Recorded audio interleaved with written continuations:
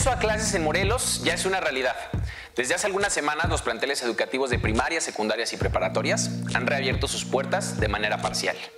Este 18 de octubre, la UAM también regresará a clases de manera presencial.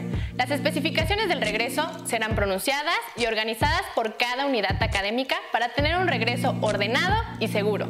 Es necesario solucionar las otras crisis que la pandemia nos dejó, la crisis económica, la crisis educativa y la crisis de salud mental, que son una realidad que nos está afectando a muchos estudiantes. El volver a las aulas ya es necesario. El momento de salir de la pandemia para llevar una vida como la que teníamos antes nos está alcanzando. Ya vacunados, tenemos que ser valientes para enfrentar esta nueva realidad. Claro, siempre siguiendo las medidas de seguridad. Será muy importante seguir y respetar los protocolos dentro de nuestra universidad para tener un regreso seguro.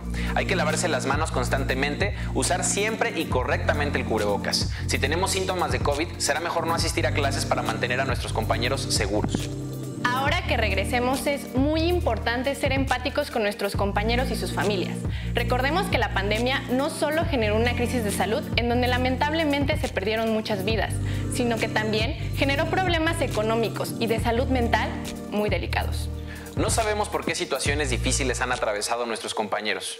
Estemos siempre dispuestos a escuchar, seamos sensibles y ayudemos en lo que más podamos tenemos que ser sumamente responsables.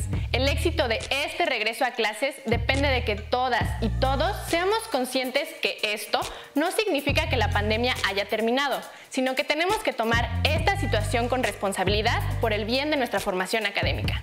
Las y los estudiantes estamos listos y muy contentos de por fin volver a clases. Soy César Mejía. Soy Jade Rivera. Y esto es 24, Morelos.